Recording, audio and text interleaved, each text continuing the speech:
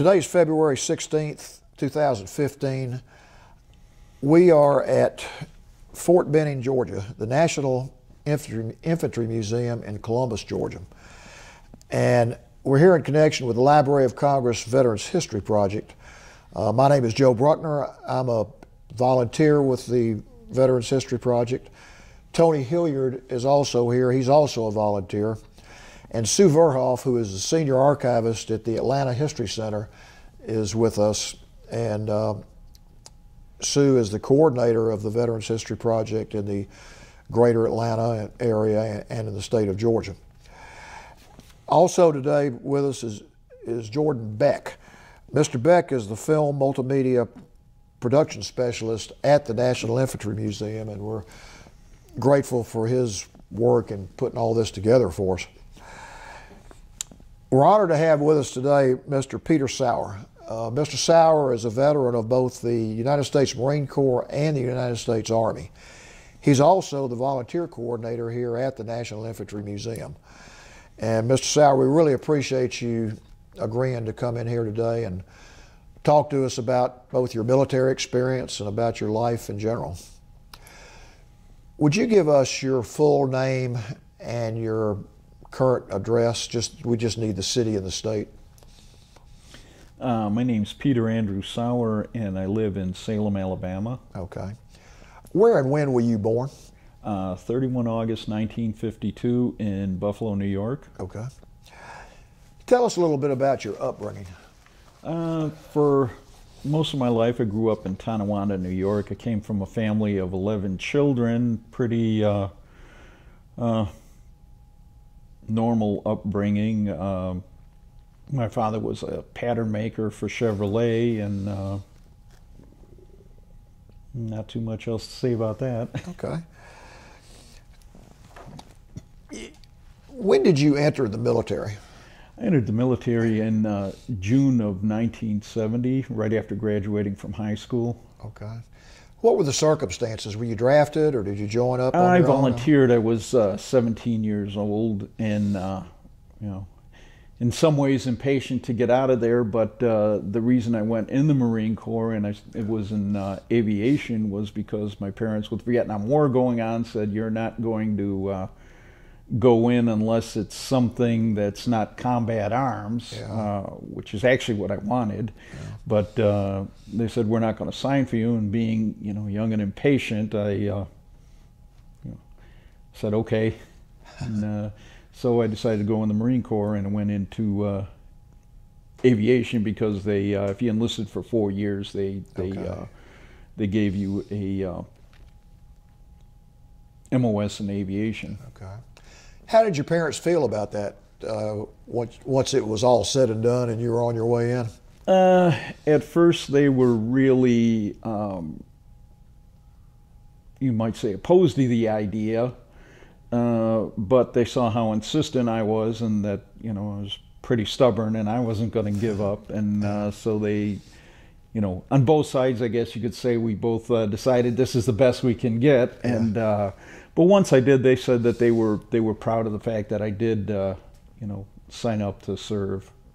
And except for a brother who was in the Army Reserves for a little bit, I was the only one in the family out of, okay. out of nine boys that went in the military. Well I'm, sure they were proud of you in the long run that you did that. Uh, I guess so. uh, according to the information you, have given us, you went in in June 1970, and yes, that's sir. right, sort of in the middle of the Vietnam War. Um, how did your friends react to that? Did they think you were doing a, the, the, right thing, the wrong thing, or did they have um, any reaction? I would have to say most of them thought I was doing the wrong thing you know, and it was uh, in a part of the country where a lot of people were opposed to the war. Um, yeah. And so there wasn't a lot of, uh, yeah. you might say, enthusiasm for yeah. it. Well, talk about your military experience. You went in in 1970. Talk about your training and where you went. Any uh, experiences you'd like to share? Again, pretty pretty mundane. Um, you know, served in, uh, you know, went through uh, you know, boot camp, uh, everybody in the Marine Corps at the time went through a month of infantry training and then aviation schooling, and uh, uh, then to several different duty stations. And, Where did you uh, go to your basic training? Uh, Parris Island, Parris South okay. Carolina. And uh, That was a pretty tough deal, wasn't it? uh, it was okay. I, I, I, you know, not trying to be, you know, a bunch of bravado, but I didn't think it was too bad. Okay. Probably after 12 years of Catholic schools, what the discipline wasn't a, uh, a, uh, a big surprise, Yeah. you might say. And Yeah. and uh, you know, and it's just, I guess, kids raised at that time. It it it was, uh, you know, we were pretty durable, you might say. So, Yeah. um, and then I went through the training, several uh, several different duty stations, uh, Cherry Point, North Carolina, Camp Pendleton, California. My last year went overseas. Uh, part of that was aboard LPH's helicopter carriers. We were uh, primarily on standby for evacuating Cambodia.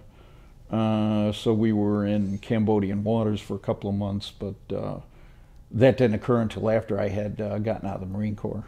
So, so where were you when you went overseas and you had that assignment? Uh, first to Okinawa, and then they sent me aboard. They sent me aboard ship USS uh, Okinawa and USS Tripoli. Okay.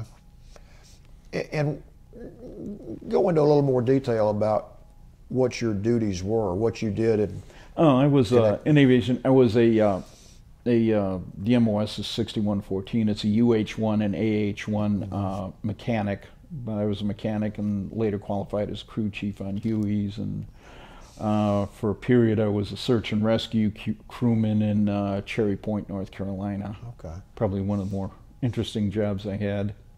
it was one of the more interesting. Yes, sir. T- talk about that a little bit. Uh, well, because it was a search and rescue unit, and uh, every other duty day, every sixth day, you got to fly in the uh, co-pilot seat. So, of course, the co, the you know, the pilot would try to uh, give you some stick time to train you as that. And uh, also another interesting thing about that, we had uh, two C-117s, which were pretty much World War II era aircraft, and two of the last enlisted pilots in the uh, U.S. military at that time, which was uh, yeah.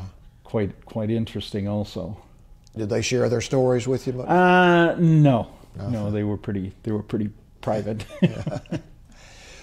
Well, did you fly missions overseas? uh, no, sir, I didn't I didn't fly there. Um, you know, uh, there I was a uh, Cobra mechanic. Oh, okay. and uh, you know, so pretty much I didn't do too much, uh, too much crew chief uh, time over there. Now, when you were serving as a Cobra mechanic, were you on board at ship or Yes, were sir. you on? A, okay. Uh, for part of that, I was yes. Yeah. You ever run into situations where the Cobras came back in bad shape? Uh, no, because we weren't we weren't flying any combat missions at that okay. time. It was it was actually after. Uh, uh, it was sometime I believe it was early in '73 when the uh, Paris Peace Accord when they had pulled out ground combat forces, uh, U.S. ground combat forces from Vietnam, but it was still considered to be in you know Yeah. quote unquote in Vietnam. Right. yeah. When that happened, Paris Peace Accords. What was sort of the attitude of your shipmates? Was there?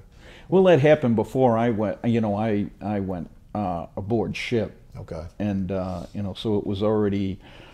Uh, well, I don't know. I don't think too many people gave it much thought Yeah. at the time. You know, it's it's uh, you know because we weren't actually there and kind Right. of uh, Yeah. you might say in a way insulated from that. And, uh, then while you know uh, waiting to evacuate uh, Phnom Penh was really what the what the mission was. It was kind of um, you know if it happens, it happens Yeah. type of thing. Where did you go from there to your next assignment? Just talk a little Uh, bit after about, that, I I, uh, I ETS'd out expiration time in service. Okay. And uh, I went back to uh, Tonawanda, New York, and uh, you know worked different jobs. You know for the most part there, but uh, mm, the economy was pretty bad, and uh, it was also difficult finding work at that time too. Uh, not just the economy, but there was really a lot of uh, what's a delicate way to put it? A lot of uh, uh, reluctance to hire uh, veterans at that time. Oh, in, yeah, in fact, yes, uh, yeah. in fact, sometimes because of my DD two fourteen, uh, because it had you know service in Vietnam, uh, sometimes looking for work, I faced outright hostility. Really? Oh yes, sir, absolutely. And uh, you know, I've heard other veterans had the same yeah, uh, experience, and I was uh, standing in line one time in the unemployment line talking to an Air Force veteran, and uh, and he was telling me his experiences were pretty much the same as mine uh, in looking for work. So, um, short version, eventually, um, you know, I uh, I decided to go back in the military. Okay. You know, because uh, you might say enlisting when I was 17. Uh, you might say it was where I grew up, Yeah. and uh, you know, it kind of uh, it was kind of like home, you might say, and it was uh, you know a well more welcome environment. And uh, probably the biggest reason that I came back, uh, that I came back and uh, went into the Army, not the Marines, because I went to the Marines because I had wanted to be an infantryman. And I went to the Marines and they said, no, we've got, uh, and in 1975 there was a big uh, problem with recruitment. Uh, there was a force drawdown, there was the uh, uh, popularity of the military, you might say, at the time. And uh, there were a lot of prior service coming back into the military at that time too. And but I went to the Marine Corps recruiter, and they were, and I asked them, you know, hey, can I go in the infantry? They said, no, you're already trained in, uh, you know, in this aviation MOS, and we've got a shortage of that right now. And uh, I said, okay, thank you, and went down the hallway to talk to the Army recruiter. And I said, hey, I want to, you know, I want to go in the infantry. And they were like, with open arms and says, brother, you know, come in. And uh, so I ended up, uh, that's how I ended up in the Army as an infantryman, you know, and went through infantry training. Talk about the training you went through in the Army and how that compared to what you went through when you first went into the Marines. Uh, in some ways, I thought it was. Uh, in some ways, I thought it was more difficult because it was pretty. Uh, it was in Fort Polk, Louisiana, and it was. Uh, I would have to say it was pretty intense, pretty demanding uh, training uh, to make it through there, and uh, but uh, made it through that and. Fort Polk was pretty rough terrain, wasn't it? I mean, just Uh, hot, oh, depending hot, on the time swampy. Uh, I guess they put a lot of the uh, infantry training there in the Vietnam War because it probably was, Yeah. you know, climate-wise and terrain-wise, probably pretty close to you know to it. So Yeah, uh, yeah, it was uh, pretty hot, pretty wet. yeah. Talk about where you went after Fort Polk. What, A- After that, I went to uh, Fort Lewis, Washington for about two years, 9th Infantry Division. And uh, well, not too much to say about that, you know. Uh, and then after that, they, uh, the Army sent me overseas to a, uh, a missile site in Italy. And uh, now that had to be a pretty interesting assignment. it was interesting. Uh, quite quite a lot of. Uh, it's a lot of uh, a lot of long hours, a uh, lot of inspections, a lot of stress. yeah. Um, but uh, Now, what period of time was this? that that was from uh, seventy seven to eighty one, okay. and uh, and that's where I acquired the uh, the language uh, identifier because I learned Italian very quickly, um, and uh, you know took the uh, defense language uh, proficiency test and uh, passed that. And so from that point onward, for the rest of my career, I managed to keep up with my proficiency testing, and so I was a linguist in uh, in Italian. Wait, did you just pick up Italian just on your own? By Uh, pretty much having to use it because it was an Italian uh, Italian military uh, site, okay.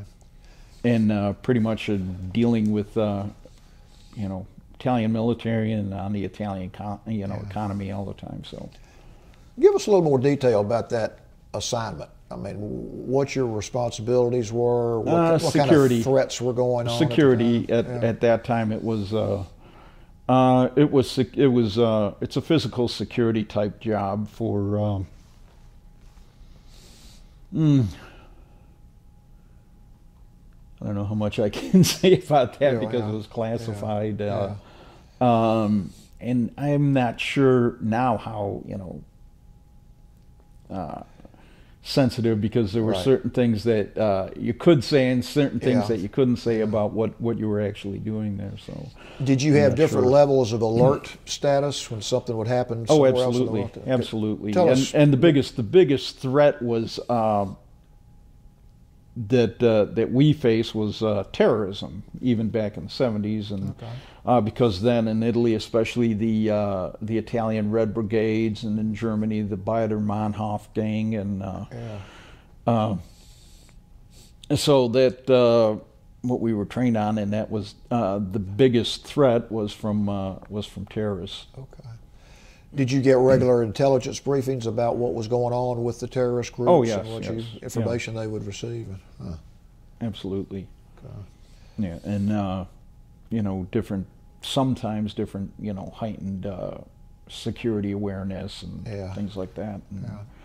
You know, periodically bomb threats or uh, you know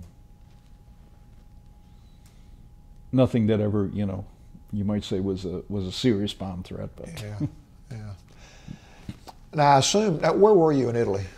Uh, it was outside of Verona Okay, in northern yeah. Italy.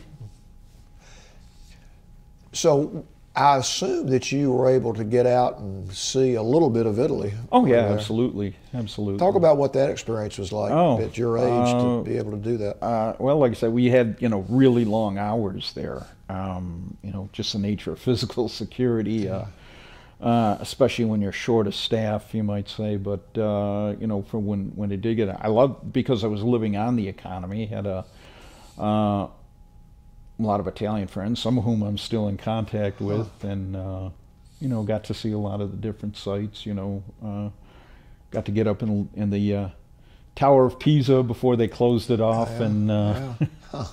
Huh. you know, for the public being able to go up in it, and they, uh, you know, got to see a lot of the uh, Yeah.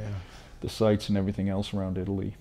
Well, that So had to be a great experience at that oh, age. it was it was a great experience. The uh, on the, on the economy and that. Yeah. And, uh, How long were you in Italy? Uh, actually, I, I served two tours that Oh, um, in Italy. I came back to the United States after that, and I was in the Army Training Board for a year, uh, and then uh, I was as a, I was a drill sergeant for two years. And after that, because I, I had a top secret clearance and I had the language qualifications, the Army sent me back over to Italy Okay. and not to uh, not to an infantry unit. Uh, so I served another tour there from uh, 84 to 87 when I came to Fort Benning. Now, on your second assignment, what were your responsibilities? Uh, it was pretty much the same, Same, thing. okay. Pretty much the same thing, and by by, uh, I guess sheer coincidence, the same missile site that I had been Oh, on the first okay. tour, which was uh, pretty amazing because there were only like 34, 30 or 40 Americans stationed there, Huh. and then, uh, you know, area pretty much isolated from other uh, Yeah. U.S. Army units. So you knew your way around pretty well when you got back there, since Yeah, it wasn't a problem. Already already spoke the lingo, so. Yeah, yeah. What other languages did you speak at the time other than English? Uh, Tagalog, uh, which is Filipino, and uh, I was qualified in that too. And I also managed to qualify in French and Spanish, uh, taking the Army's defense uh, proficiency test. Wow. Because I had had some Spanish and uh, French in high school, and you know, studied some of it on my own. So I was always fascinated with languages. Wow. You must be good at learning other languages to Uh, pretty master much. I guess it all depends on how you pick your grandparents. So. True. Where did you go after you left your second assignment in Italy? Uh, I came came to Fort Benning. That's how I ended up here. Okay. Um, and uh, I was here for about uh, I was here for about two years, and I was planning, you know, not you know, to eventually retire. But uh, then when the uh, the Gulf War started, or when Saddam, right before uh, Saddam Hussein invite, invaded Kuwait, I got orders for Fort Bragg. Uh, again, based on because of the language qualifications. Yeah. You know, if you, uh, uh, I guess, if you get put in special assignments for whatever reason, they they pretty much got your uh, got you tagged for yeah. that kind of stuff. So they uh, uh, they sent me to Fort Bragg to Civil Affairs Battalion. At the time, it was the only active duty Civil Affairs Battalion. At that time, it was part of First Special Operations Command, and so not long after I got to Fort Bragg, they sent us over to Saudi Arabia uh, prior to the Gulf War. Oh. Well, talk about that experience. Uh, that was quite the experience. uh, we were, uh, if I remember correctly, it was right before Thanksgiving of 1990 that they sent us over there, uh, and so we were in uh, we were in Saudi Arabia for uh, a couple of months before uh, before the uh, the ground war actually started. Yeah. And uh, so we went in uh, about a day or two after it had actually started. But of course, everything was over so quickly. Um, you know, there's there. Um, you might say a lot of the uh, functions that we expected we were going to perform they didn't they didn't occur because yeah. everything was done so quickly and yeah. the uh, and the Kuwaitis recovered so quickly. But I spent a um, I spent a month in uh, about a month in uh, Kuwait. Okay. Uh, you know, both during and after the war. Okay. Now, how long were you in Saudi Arabia? Uh, so in Saudi Arabia, we were there, what, November, December, January, February. Yeah, it wasn't until towards the end of February that uh, okay. we went into Kuwait. Were you working with the Saudi military at all, or was it all, all with the uh, American uh, military? No, it was, it was uh, you know, all with U.S. Uh, forces okay. uh, while we were there. And, you know, was pretty much, you know, waiting to go in yeah. at that at that time. We were in uh, uh, we were in several areas for a little bit. We were uh, attached to the uh, J5 and 24th Infantry Division, and then they, they moved our unit to Riyadh, Saudi Arabia. Well, we were in uh, we were in Riyadh and then uh, Dhahran and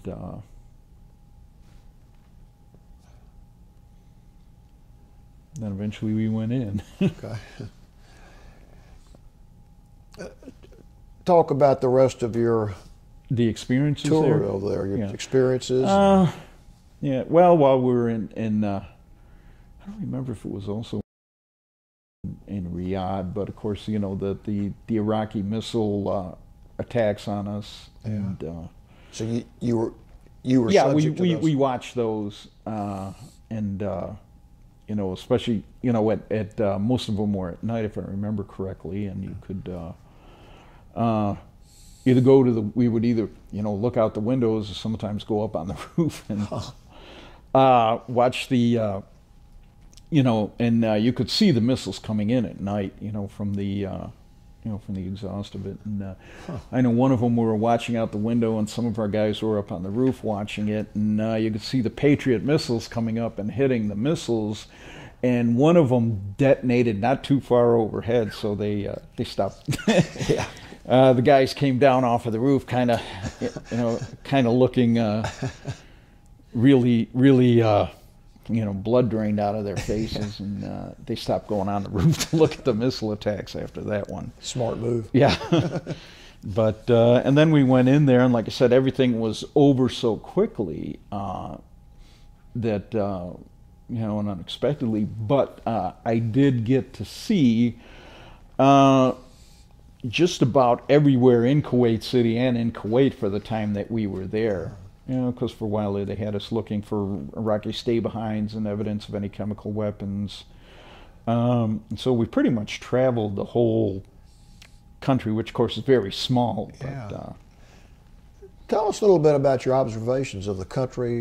You know, we see it on the news, but if we haven't been there, what, what it was like, what the people were like? what you- well, what it was like, there weren't too many people because most most of them had left, Okay. and the ones who did go behind, some of them, I, you know, I talked with some of them, um, but uh, the uh, the city, if you would look at it now, was probably nothing like it was then because it was. Uh,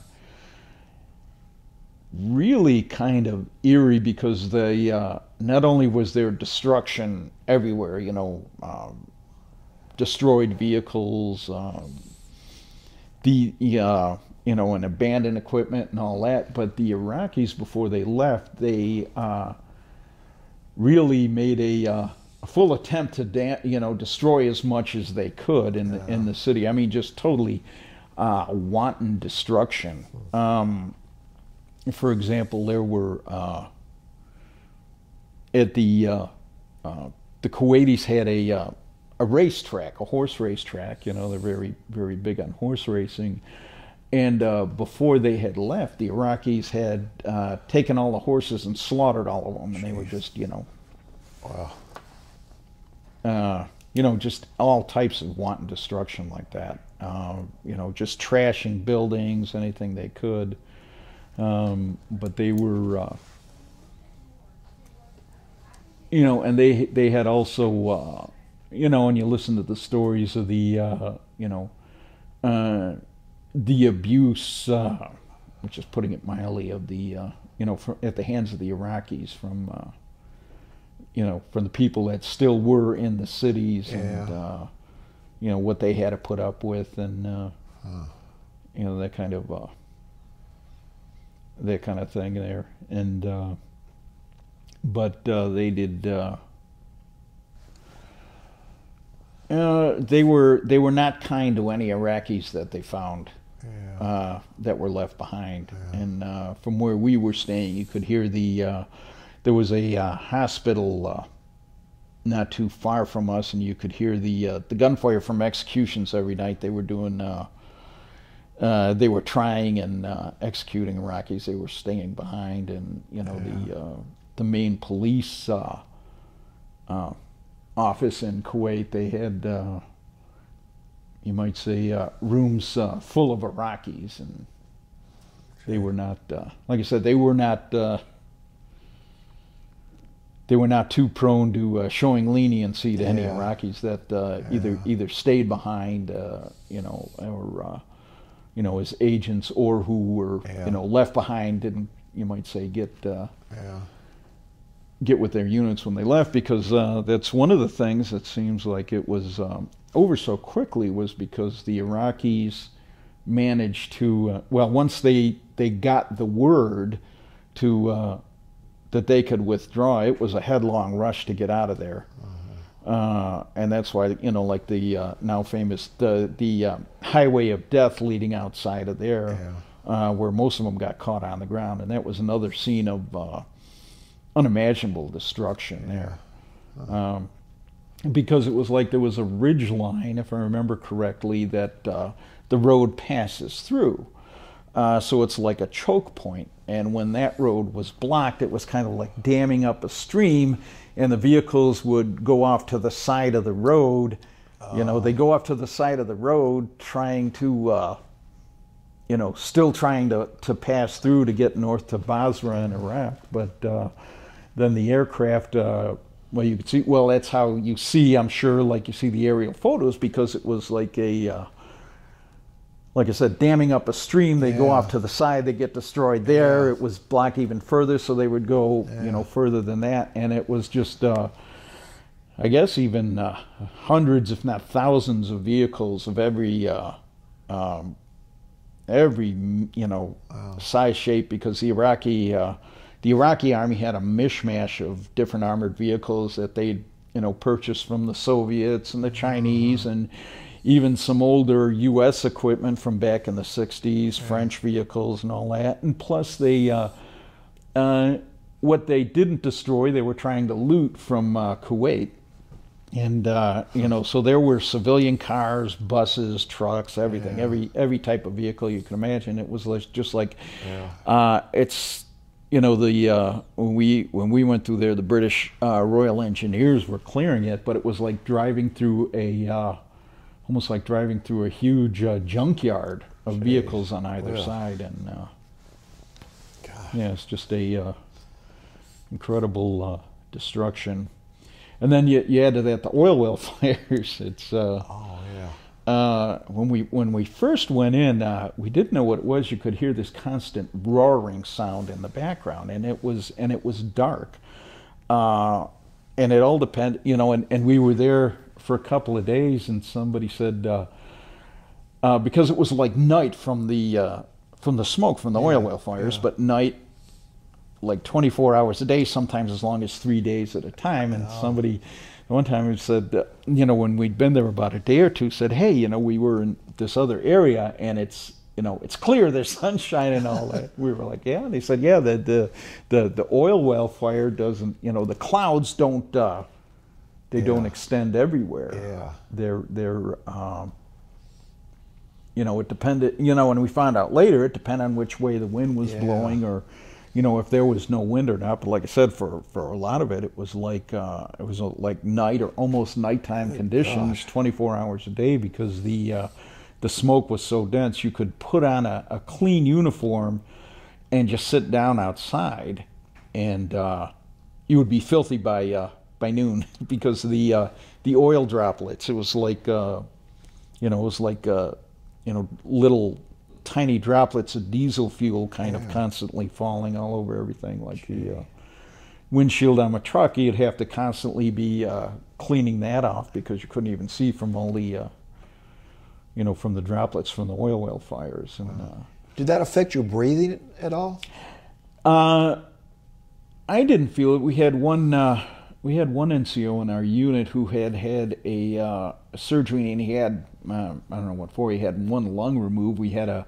Uh, he had to be uh, taken out of country because it was really affecting him Yeah. badly. I, I guess it did because it got into everything. You know, Yeah. you you were breathing it in. It you know got into your food, got everything. Yeah. So it was. Uh, you know, when when the uh, when the clouds were blown, were you know were were stuck over you, it was, uh, I guess, not the healthiest of conditions. Yeah. Well, con- continue telling us about your experiences there because that's a you know an eyewitness view that not many people hear that were right. hmm You were right there in the middle of it. Yeah, yeah. Well, yeah, I'd have to say, well, like on the the Highway of Death, one thing I saw some people making comments on uh, on YouTube about it, about videos about it, saying, "Oh, they they slaughtered civilians. It was Iraqis, just right." But that wasn't it at all. I mean, they they were uh, in Kuwait. Uh, they behaved like animals. Really? You could see from the results and from talking to Kuwaitis who were there. Um, and one of the things that I thought was the most, um, and I don't know why, but uh, to me, one of the most disgusting things, uh, I had some Kuwaitis telling me that uh, during the occupation, the Iraqis had taken a, uh, a truck and mounted a uh, quad machine gun on the back of it. And they would just go driving around the streets at random times and just shooting at anything that moved. It was kind of like a, you know, almost like a video game for them. You know, so they said you could be out, uh, you know, like looking for food or uh, or water or you know medical supplies, and all of a sudden, you know, here comes this truck uh, careening around the corner, and you know, um, randomly open opening fire or not at, uh, at somebody, and Good uh, gosh.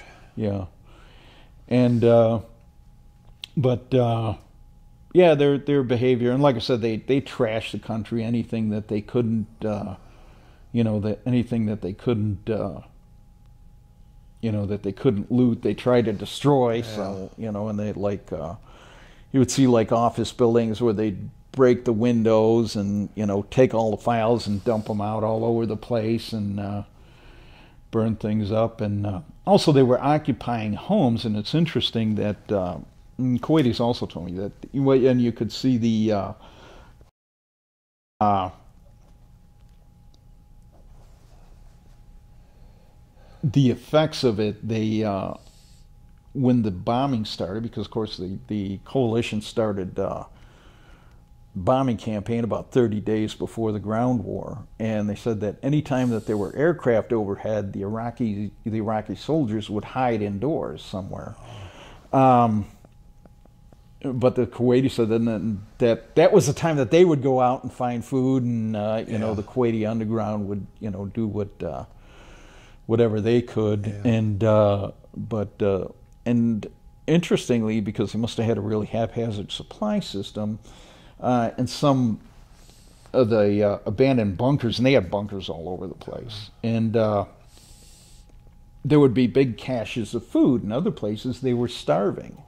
Like uh, one of our translators, uh, Kuwaiti translator, who had escaped when the Iraqis invaded. Uh, one time, he showed us his house. He has he was from a fairly well-to-do family, and uh, he showed us uh, in his house, and, and he said, "Oh," he said, uh, and there was a couple of piles of fur on the floor, and he said, "The Iraqis," he said, "they ate my dogs." Jeez. Uh, and they were eating dogs, camels, anything else in some areas, or they were, you know, pretty much starving. Yeah.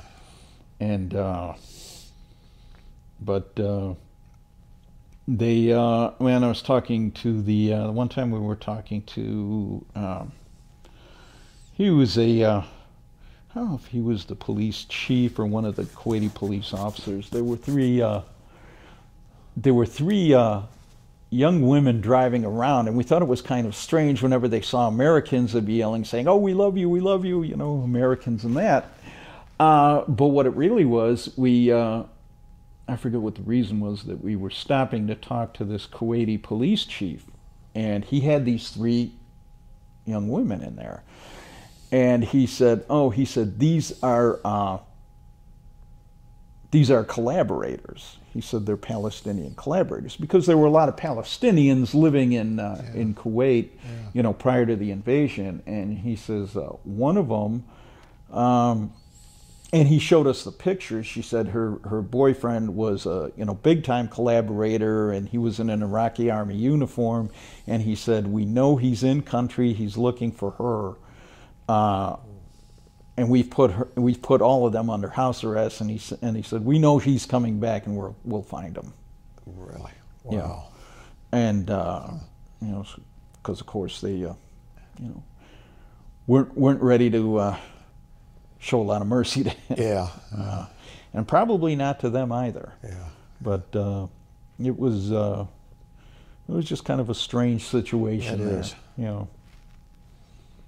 The, uh, the whole experience, you know, with uh, with everything because the uh, and it's interesting. The Iraqis when they left, they just they just left, uh, and you can see from as many buildings as they fortified and you know the the uh, supplies of ammunition and everything else they had. Um, if they had wanted to resist, they could have made us bleed heavily.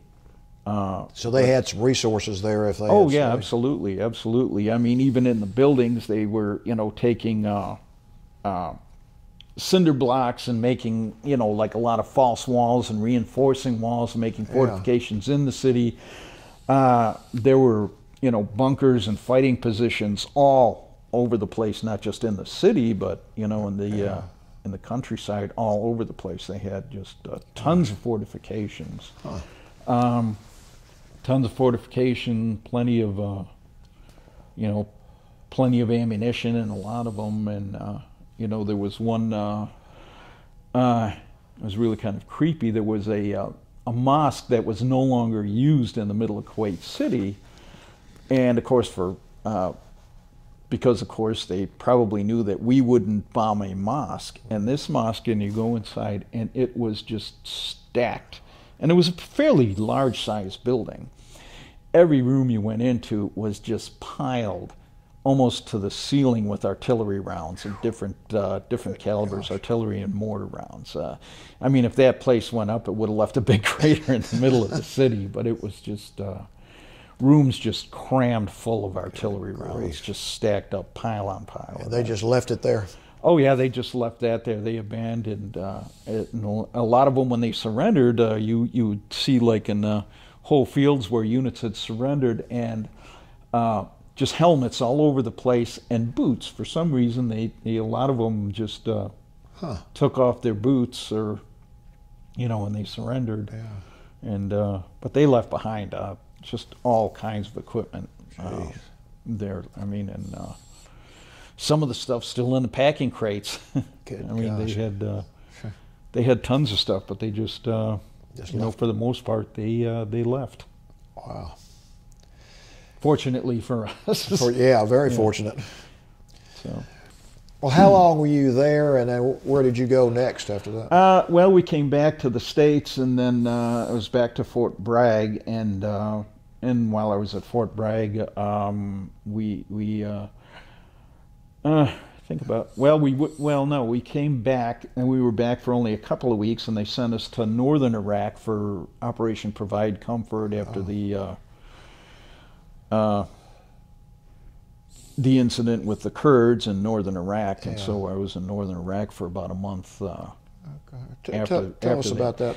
uh, it was also pretty interesting there because uh, we were in an area of northern Iraq that, um, and this came as a surprise to me because you think of Iraq, you think, you know, originally you think all Arabic or whatever. And northern Iraq was actually quite, uh, in a lot of ways, quite beautiful country. Uh, you know, you see these fields of wild flowers and Yeah. all uh, uh, growing there, and uh, uh, mountainous area, and and uh, but then on the other hand, it was uh, you might say the uh, you know, the counterpoint to that was uh, there were all of these, and it was in a you know it was a uh, predominantly Kurdish area, not all. Um, in fact, the town we were in uh, had a had a large population of uh, Catholics, uh, Roman Catholic, and uh, they were ethnically Chaldeans, which I thought was, uh, you know, there were no more Chaldeans. In fact, uh, they also a lot of them still spoke the old Chaldean language and attended a uh, with the uh, captain who was uh, the other member of the team that I was in. We went and attended a mass in a Chaldean church. Uh, and there was Chal- Chaldean. It was done in Chaldean, and you know, Chaldean writing on the walls is very old Gosh. church, hundreds of years old. Um, but in that area, there were uh, there were all types of uh, towns that you look at your military map, your one to fifty thousand map, and there are all of these uh, towns there that no longer exist because uh, several years earlier, you know, when they were fighting against Saddam Hussein, the uh, the Iraqi solution. In fact, not that long before then. In fact, I guess probably just a few months before that. Uh, uh, Saddam Hussein's solution was to go in and wipe out the town. And when they destroyed these towns, they destroyed everything. Uh, they uh, they killed everything and everybody. The cemeteries there were just just they were so packed that they buried people outside of the cemeteries. Uh, and they killed everybody men, women, children. They demolished the houses. Uh, they even stripped all the uh, wire from the electrical uh, electrical poles, uh, blew up the water tanks. Uh, you know, just complete destruction. Uh, and this one village, the only person left was a an old woman, and people from surrounding villages would give her would bring her food. But there was one woman; she had to be, I don't know, maybe in her 80s, and uh, she had lost her mind. But she was the only uh, person still living from that whole town that uh, that was still there. And uh, although some of the uh, Peshmerga fighters had been away, you know, working or whatever outside, when uh, you know I met one who had uh, he wanted to go with us because it was uh, it was a really sad scene because he had uh, he wanted to see his house and uh, you know he was. Uh, he was a little guy in another situation you would think he was you know a little uh, little guy who might work behind a desk somewhere right but he was not one he was a, a peshmerga fighter uh, because uh, and told me he uh, and he went up there. There were tears in his eyes. He went to go look at his what was left of his house, and there was nothing, Oh, nothing more than waist high left standing. But he had lost his entire family uh, to Saddam's forces. So uh, a lot of these guys who were fighting, they were kind of like they have uh, they have nothing to lose, yeah. and uh, you know they were they were, you know, and you can see that now. I mean, Peshmerga I was told them it means he who faces death, and uh, that was certainly the case. Yeah. Uh, and we were attached first first two weeks to a Dutch uh, Marine uh, unit, and then to British Royal Marines. But uh, uh, to give an idea of what these guys were were, were like, the uh, the Dutch commander, the one time had uh, the company commander told the local Peshmerga leader to, uh, and he was speaking to the translator, told him he said, "Hey, our patrols have found uh, some booby traps at the cave entrances." And he said, you know, he was of course very unhappy with that. And he said, uh, he said, "You're putting my soldiers in danger." And he said, uh, he said, "Well, you know, we booby trap the caves. That's where we keep our weapons and ammunition." And uh, the Dutch commander uh, told him, he said, uh, he said uh, to the translator, says, "Tell them that we will confiscate their weapons if we find any more booby traps." And the Peshmerga leader just laughed, and he asked the translator, "Why is he laughing?" And he said, "Because he says, go ahead and take away our weapons." He said, "We have caves full of weapons that you will never find," and so he said, "Go ahead and take them away." so, Yeah. you know that uh, it was their territory. They Yeah. they, they they knew it well, and uh, They were good fighters, weren't they? Still Uh, are, I guess.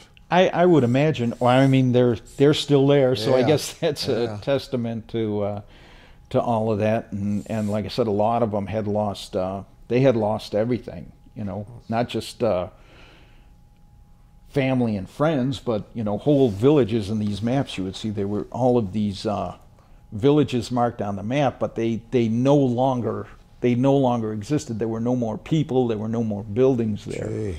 Um, just maybe a little bit of rubble, but that's about it. Wow. No.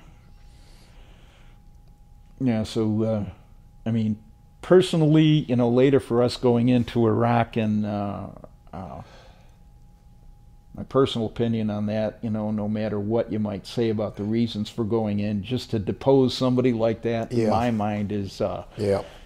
is uh, all the justification Yes. you need because both what he did uh, in Kuwait and to his own people is, uh, you know, totally inexcusable. Yeah. Just totally. You wish everybody knew the story you're just telling.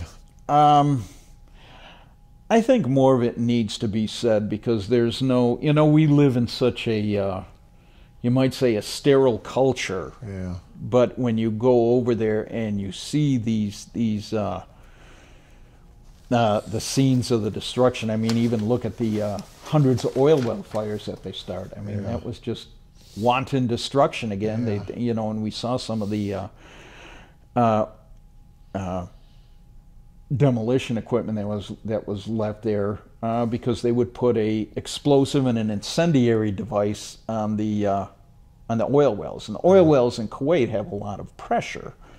Uh, Okay. That's one of the reasons it's so profitable for them because it's such high pressure.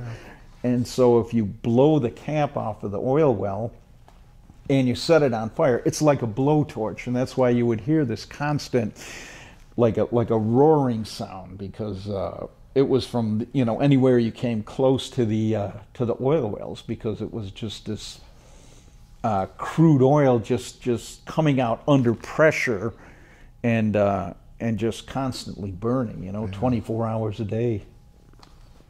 And they just blew off uh, Wow. hundreds of those oil wells, you know.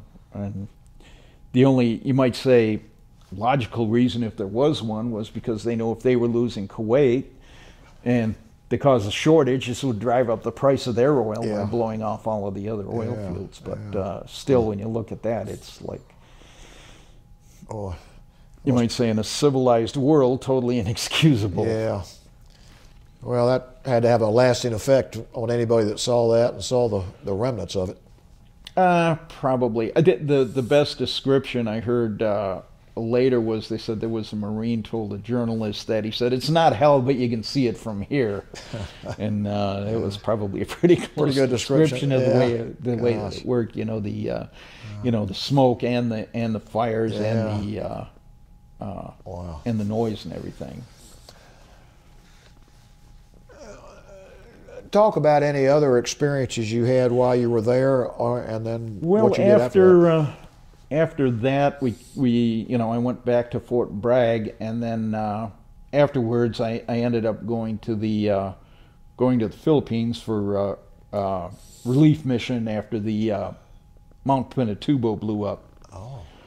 and uh, And you had the language skills Yes, sir. So talk- Yeah. talk- what was that experience like? Uh, well, uh, helping with setup of setup of a uh, camp for displaced persons who had been displaced by that. Because uh, again, I got to uh, go in a helicopter to uh, you might say get a get a uh, look at it at the at the aftermath of that. And again, it's something unless you see it, you can't really imagine it because the uh, the ash from that is just so incredible. You would fly over these uh, areas that, that used to be jungle, and uh, only the treetops were sticking up above above uh, ash. Just ash must have been like you know, Gee. 20, 30 foot. Uh, 30 foot deep all over the place and you know in some of the areas close by there roofs would collapse because uh you know the ash accumulating it you know kind of like up north with- you know with snow here but Yeah. uh ash from the uh from that and uh you know someplace you could see you know uh six eight ten foot of uh of ash from that and so of course this displaced a lot of uh a lot of people who had uh, you know been living in rural areas and uh, um, they basically had to resettle them somewhere somewhere uh, far enough away from there. But uh, And what was your role and your responsibility while you were there? No, it was uh, what I had to do initially was to uh, go out. Um, I don't remember the name of the town and go up and and uh, talk to one of the locals. There was a contact we had about using an area um, to set up a base camp for uh, U.S. military units that were uh, doing relief work there. We had uh, medical personnel that were coming in there. A uh, the Marine Corps supplied a unit of uh, for water that uh, I think they specialize in water purification and uh, you know sundry different Yeah. units at the uh, uh, at the town at the base of the mountains. The actual the actual uh, resettlement area was uh, up in the up in a mountainous area. Uh, you know, along a winding road to get up there. And, Yeah. You know, like I said, we were we were there to uh, basically to do the coordination to, and to accommodate the uh, uh, you know the setup of U.S. Uh, U.S. units that were doing that. You know, they had medical and dental units that, uh, Yeah. and they would go up into there and and uh, do examinations on people. There was an Army engineer unit that set up a uh, uh, you might say a public bathroom for the people up there, you know, for the sanitation facilities, that type of thing. You know, basically just taking people and, and Yeah. you might say uh, helping to set up and, and you know, resettle a, uh, a unit or a, uh, a village. Right. What time period was this? Uh, this was in uh, this was in late '91. Okay. This was in late '91, and and after that, I came back to the United States, and uh, then I retired. Okay. and I already had a house here before I had gone to Fort Bragg, so I came back to back to this I area, and that's how, you know, I I ended up landing in the uh, Columbus, Georgia, Fort Benning area. Yeah. And, uh, Well, uh, we'd like to hear a little bit about what you've done since you've got out of the military. Uh, for most of that, I worked in uh, I worked for 15 years in uh, IT job. Okay. Basically, as a program programming and as a manager, uh, but uh, not something for me. Yeah. and uh, eventually retired from that, and not too long after that, I ended up getting a job here at the Infantry Museum, and uh, now that has to be a labor of love for oh, you. absolutely, absolutely. They actually pay me to work here, so yeah, I really do enjoy working here. And I know you're involved. Uh, well, you're in charge of the volunteers, is that right? Yes, sir. Okay. And that's that's uh, it's quite an interesting job. It's like, you know, it's unlike any other type of management job. What what makes it done. unique? Uh, it's unique because um, you have close to uh, you have to maintain um, a sufficient volunteer staff to to perform all the functions because volunteers that we have here they uh, you know they greet visitors when they come in they run the info desk they uh, do tours of our World War II company street they drive vehicles for special events and when we have graduations uh, and uh, they perform quite a number of functions that uh, you know we couldn't you know we couldn't do without them. But that said, a lot of them uh, may only work one, two, or at the most maybe three days a week. So, but the museum is open seven days or six days a week, Yeah. and uh, so you have to take about a hundred people and manage to have coverage for all of them, and uh, and of course they're working because they want to be here, not because they have to show up every day to, to collect a paycheck, Yeah. right? And so you have to have enough people to cover everything. But that said, they they are also the best bunch of people I've ever worked with Really? because they're all here because again it's all a labor of love for them they're not collecting a paycheck they're Yeah. they're here because you know uh, they want to be here Yeah. they they uh, they want to provide that service to uh, you know to the army and the uh, and the community and so it's uh, it's uh, really quite enjoyable working with those folks It must require a lot of coordination on your part, leadership and coordination. Uh, coordination quite a bit. like I said, when you've got about, you know, some people coming in only, uh, you know, for four hours once Yeah. a week, it's it's, uh, you know, and you have various areas that you have to put them in. It's it's, you know, it gets to be a uh, challenge sometimes to to you might say to keep the uh, keep the schedule filled. But, uh, it all seems to work out. Are the volunteers predominantly former military? No, we have we have quite a mix. That's that's a that's a pretty common question. Uh, but no, we have, uh, of course, being you know the Columbus, Georgia area being uh, a lot of military retirees, but we have uh, we do have a number of retirees, but and uh, a lot of uh, army wives. Uh, but we also have people who uh, are veterans only only served. Uh, uh, maybe you know maybe one tour with the military and not just army we have navy Uh, we have some retired navy we have uh, air force uh, and we have some people who've never you know uh, never served in the military at all Yeah. and just live in the area and, and we have uh, just really a uh, a uh, interesting mix of Yeah, uh, people with different backgrounds, and it's you know definitely not all military, although there are you know quite a number of them in there. Well, it must be satisfying to have a group where you know everybody wants to be doing what they're doing. Oh, absolutely, yeah. That's that's that's one of the big uh, big benefits of working the job. But uh, yeah, it's uh, it's uh, pretty good. Like I said, it's uh, uh, probably of any job I've had the best group of people to be working with. Yeah. So yeah, I feel like I belong here. Well, you I got- may be, I may may not be uh, 100% correct on that, but uh, well, you're obviously doing a good job because you've got a full core of volunteers. uh, yeah, yeah. Well, we're constantly adding more, and sometimes some we had one who just you might say retired Yeah. from it last week, and uh, sometimes people move away, different you know different Yeah. reasons. They take on other commitments, and uh, it's And it's also interesting to see, and one thing I didn't realize before working this job is how many of the volunteers, um, they may be retired or semi-retired, or maybe not even retired at all, but they work uh, as volunteers in a lot of different areas, um, in, like in different cultural centers, other museums, hospitals, hospice. I mean, in in uh, uh, all kinds of different areas. And uh, you know, this is might be just one of several places where Yeah. they volunteer at. And, uh, you know, it makes you realize how important volunteerism is. Uh, pretty much in any community. That's so true.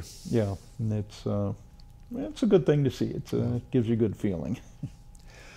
Well, I want to do a couple of things before we finish. Uh, number one, I want to see if anybody else has any more questions to ask of Mr. Sauer. Tony, Sue? Just a quick one about your grandparents. Uh-huh. Said you had do Oh, your you take- grandparents? Pick yeah. up on that? Uh, well, probably the language ability might come from my paternal grandfather. Uh, he was uh, he was German, of course, a name like Sauer, but uh, they happened to be living in what was then Austria-Hungary. So he was drafted in the Austro-Hungarian army, and he served there, you know, just prior to World War One. But uh, probably due to that, he spoke German uh, and Hungarian.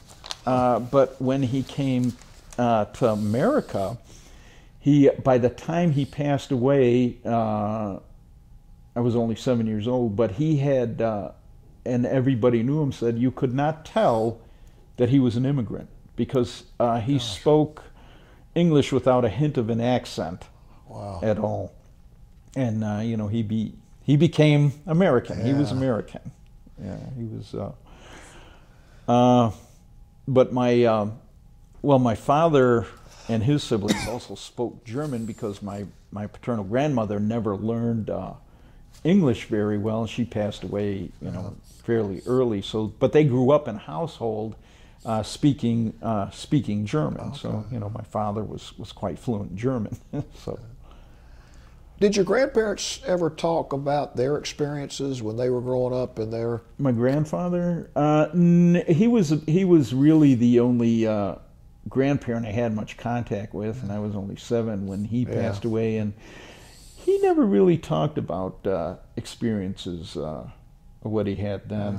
And, uh, uh, some of what I know of him, you know, I dug out, you know, like from. Uh, uh, you know, especially my one aunt, and uh, you know some of the pictures that she found and she gave to me, like show, when when he, especially my grandfather when he was in the Austro-Hungarian army and uh, and what he did there, and uh, yeah.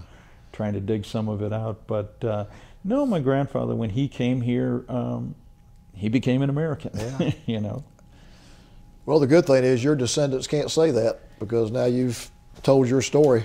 It's going to be on a, a That's- DVD forever. Yeah, well, that's that's a good thing. Well, I try to uh, uh, with my sons. I, you know, my my my parents and my grandparents never talked that much about their experiences and their childhoods, and and I don't want, you know. I don't want my kids to grow up Yeah. like that, where they don't really know Yes. who who I really was That's- and uh, you know that's why I you know I talk to my my kids. I tell them about my experiences. And, That's uh, good. And uh, you know what it what it was when I was growing up, and you know stupid things I did as a kid. you know. Well, and before we finish, tell us about your family. You said you've got children. Uh, yeah, right now I have uh, I have two two boys, um, and uh, one of them is, lives in the Atlanta area now. He graduated from high school. The other one is still in high school. good. And, uh, Good. Whether or not he's ever going to pursue a military career, don't know. he's not really interested in that, but Yeah. Well, I want to give you one more chance to just say anything you want to say, any message you want to give to anybody that sees this, or just fill in any blanks you feel like you left in, just anything else you want to say about anything. Um, well, actually, I would I would have to say that that um,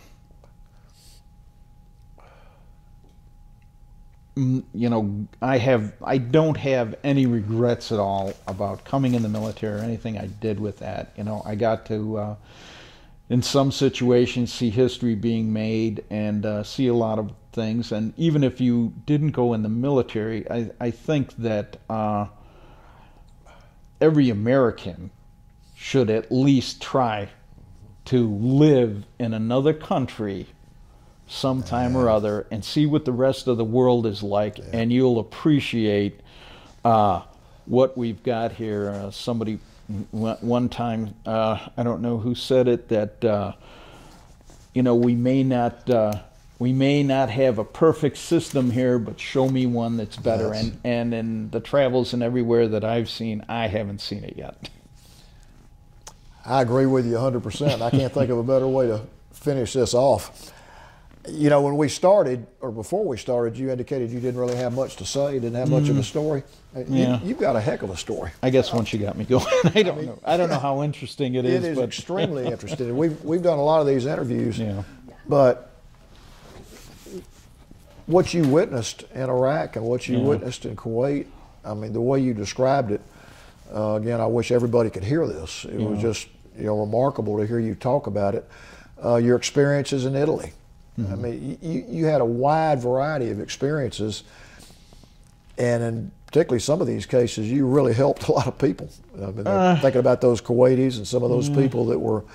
I know you're modest, and you, I don't know. I just don't feel like I really did that much. You know. well, I, I can guarantee you you did, just Yeah. based on hearing where you served and what you Mm-hmm. did when you served.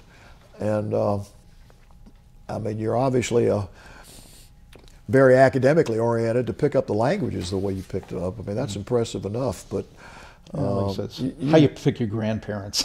well, that's I got lucky on that one. that always helps. yeah. but you, you really did have a remarkable military career and some of the experiences that you had. No, it was it was unusual. yeah. it was And, uh, unusual. And then what you're doing now, I mean, I can't think of many better things than what you're doing now with these volunteers and being able to share everything that we see around us here with the general Well, public. the best thing is is uh, to me the high point is when you get uh, World War II vets coming in. yeah, yeah. um, because they have some, you know, and like I said, if you can get it out of them, uh, some of them have some really fascinating stories, and and knowing that you're a veteran, of course, like I said, it Yeah. makes it, uh, you know, easy to uh, for them to communicate Yeah. with, and uh, well, a a, uh, a good example would be there was a. Uh, uh, there was uh, a Gold Star mother. Her son had uh, he was a ranger and who he he had been uh, you know he he was a KIA in Afghanistan. And she came through the museum. She had an escort, and she was. Uh, they were asking about uh, a unit that her father had been in, in uh, the 158th Infantry Regiment. I think it was in the Pacific in World War II. And uh, it's interesting. She said her father uh, who was uh, a veteran of some really vicious fighting in the South Pacific in World War II, would never talk about his experiences. Uh, but she said she never he would never talk about it to anybody until her son, his grandson, was deployed to, uh, I guess, a couple of tours in Iraq and Afghanistan, and it was like then he would just totally opened up with with Wow. his his grandson over that because it was uh, Yeah. you might say a shared experience and he and he and he uh, she said that was the only person that he would ever talk with was uh, about his about his experiences in World War II. That's a that's a I wonderful story there. Yeah, I, I- did do that. yeah, I thought that was too. And uh, you get a lot of uh, you get a lot of uh, interesting stories like that. Yeah. Uh, another one, I don't know. Have you ever in the Atlanta area ever heard a gentleman named Henry Birnbrey? I have heard that name. Um, it was very interesting because it, it was uh, I was working. It was Christmas Eve of 2013. Okay, and uh, you know how I said we do the World War II street tours. Okay, well I had a, a group of group of people came in, and uh, we do them only during scheduled times. And being Christmas Eve, it was we were really short-handed, and they came in and they said, well, you know. uh, is there any way we could, you know, get to the World War II street buildings? And I said, well, yeah, you know, I said, uh, we got a two o'clock tour today, but uh, I said, well, could we get in now? This was sometime late in the morning. I said, well, I don't really have anybody in this, and I wasn't too enthused. And he goes, well, my dad, he says, he says, well, my father, who's with us, is a World War II veteran.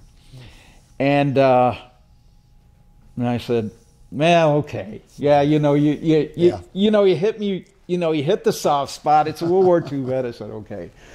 And uh, we went there, and I come to find out this guy, uh, and, and uh, he's got a bio online, but just absolutely, uh, you talk about an incredible story. He was 14 years old, Jewish, living in Nazi Germany. His parents were desperately trying to get him out of the country. They put in visas to student visas to three different countries um, and he uh, he the United States was the first one that came back, and so they got him out uh, to the United States. And uh, short version, he he joined the U.S. Army when he was old enough, fought in World War II. Uh, he had some interesting stories about all that, and a lot of this I didn't find out until later when I looked online because it was his son who owns an architectural firm in uh, Atlanta uh, his family had gotten him out, and and basically after the war, when he went looking for his family, they were the only ones who had survived. Uh, was one first cousin on his father's side, one first cousin on his mother's side, parents, grandparents, siblings, aunts, uncles, all Wow. you know, and all the rest of the cousins all all dead. And uh, but what's interesting about him, there is not a hint of sadness or anger or bitterness about the man at all. Wow. It's it's that's what I found the most amazing about him, and he was and he talked really freely about his wartime experiences too. You know, and he does lectures around the Atlanta area, you know, to school groups and all that. But uh, What a great attitude to have. I yeah, I, I thought that was you know, and it was and it just happened to be it was on Christmas Eve, and I thought that was one of the best Christmas gifts I had ever received in my life Boy. because it was just such a you know I get goosebumps talking about it now, yeah. but uh, he he was just such a a uh, incredible individual, you might say. Yeah, it was quite amazing. It was quite an amazing day there. It must have been. And Yeah. you probably have a lot of those days dealing with the people that Oh yeah, come yeah. here. But well, once again, I just we want to thank you for coming in here and sharing your story. I mean, it was extremely interesting to us. Oh, and Oh, Thanks. I- I I don't know. I didn't think it, so. it was it was to us. And again, thank you for doing that. And even more than that, thank thank you for your service. Yeah. Thanks. It was nothing.